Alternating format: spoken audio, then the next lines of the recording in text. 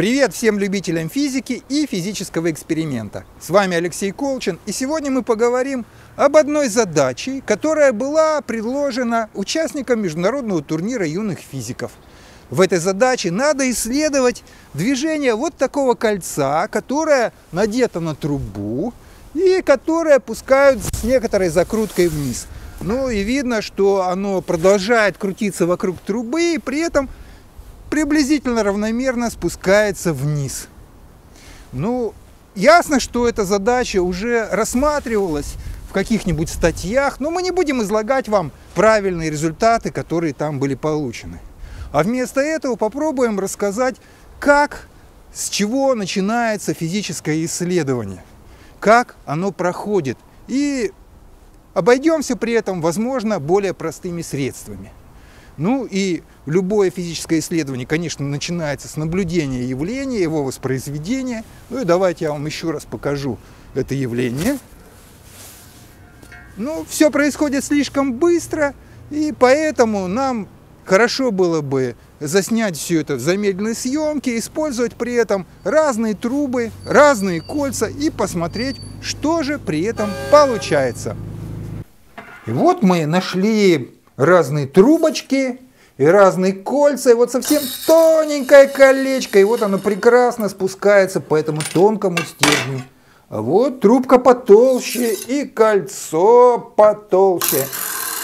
И оно тоже спускается медленно, и видно, что практически равномерно. Ну, а вот большая труба и резиновый бублик эспандер. Давайте попробуем его запустить. Так, еще раз.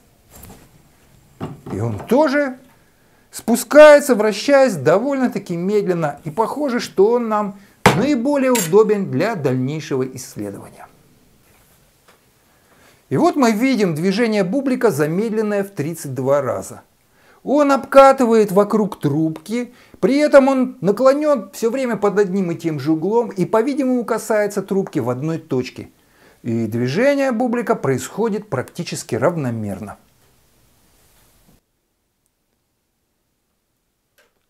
Движение кольца можно продемонстрировать следующим образом. Сейчас я его держу горизонтально, так что оно касается внутренним образом трубы, на которую надето.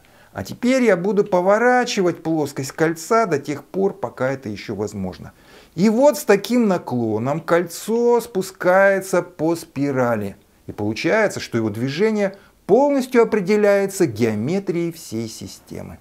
И теперь можно дать качественное объяснение движению кольца вокруг трубы. И это движение представляет собой, во-первых, равномерный спуск вниз, а во-вторых, равномерное вращение центра масс кольца вокруг оси трубы. Ну и поскольку движение вниз происходит равномерно, значит сумма сил в этом направлении должна быть равна нулю. Вертикально вниз на центр масс кольца действует сила тяжести.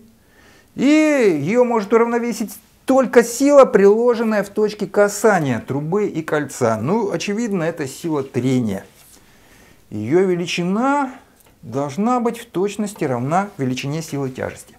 Но раз у нас есть сила трения, значит кольцо должно быть прижато к трубе, так чтобы на нее действовала сила реакции опоры такая, чтобы сила трения была в точности равна силе тяжести. Ну, э, э, кольцо может прижиматься к трубе только за счет вращения. Если мы перейдем в неинерциальную систему отсчета, вращающуюся э, с такой же частотой вокруг оси трубы, как и кольцо, то на него будет действовать центробежная сила, и его величина должна быть равна силе реакции опоры. Короче говоря, эти силы подстраиваются друг под друга, но и в этом смысле частота вращения кольца будет именно такой, чтобы эти силы компенсировали друг друга. Теперь мы можем перейти к количественной теории. Начнем с того, что выделим из полной силы трения силу трения качения, направленную вдоль спирали, по которой кольцо обкатывает трубу. Полная сила трения равна mg, а сила трения качения равна mg синус альфа, где альфа – угол уклона спирали.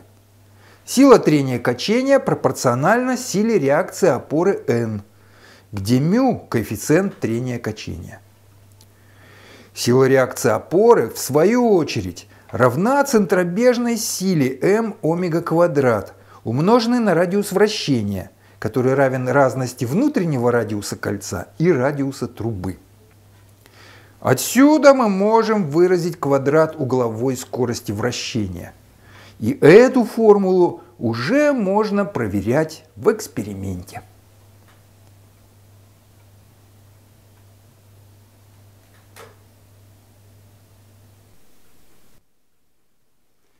И вот я выписал формулу для квадрата угловой скорости вращения отдельно. Ну и, кстати сказать, из нее можно немедленно получить скорость спуска кольца по трубе вниз. Она определяется из геометрических характеристик. Но если мы учтем, что у нас э, точка касания навивается спиралью на трубу. Ну и вот получается такая несложная формула.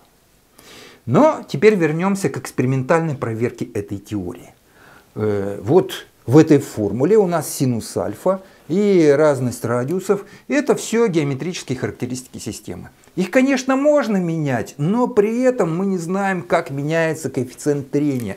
Это коэффициент трения качения, его крайне сложно измерить напрямую. Поэтому мы после того, как несколько подумали, решили, что мы можем изменить G, ускорение свободного падения. А для этого достаточно наклонить трубу. И вот я наклонил трубу, и теперь на кольцо вдоль трубы действует не вся сила тяжести, а только ее проекция на направление трубы. Эта проекция относительно невелика.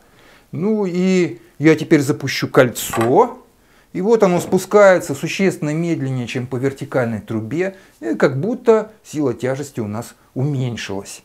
Ну и меняя угол наклона трубы, мы можем проводить эксперимент за экспериментом и проверить соответствие нашей теоретической формулы результатам опытов.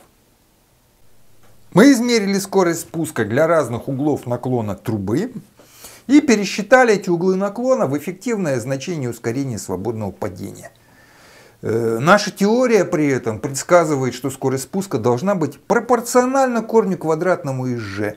Ну и видно, что в целом результаты эксперимента соответствуют этой теории. Однако при больших углах наклона и малых g начинаются некоторые расхождения. И по-видимому это отклонение можно объяснить так. Э, пока труба у нас стоит вертикально, Работает простая теория, в которой прижимающая сила в точности равна центробежной. А когда мы наклоняем трубой, тем более вот так сильно, кольцо в этом положении прижимает не только э, центробежная сила, но и сила тяжести. А в этом положении сила тяжести наоборот отжимает кольцо. Ну и кроме того, когда кольцо спускается по вот так сильно наклоненной трубе, то угловая скорость вращения становится гораздо меньше. И, соответственно, падает величина центробежной силы, пропорционально квадрату угловой частоты, между прочим. То есть довольно сильно.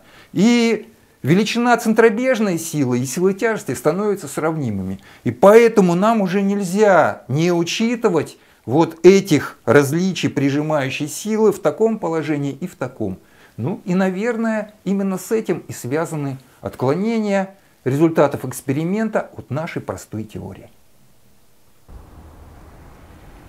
А теперь наш традиционный заключительный вопрос. Ну, вы уже много раз видели, как кольцо по трубе движется вниз, но иногда при запусках оно почему-то движется вверх. Ну, примерно вот так. И надо это как-то объяснить. Ваши соображения на этот счет пишите в комментариях к нашему ролику на YouTube.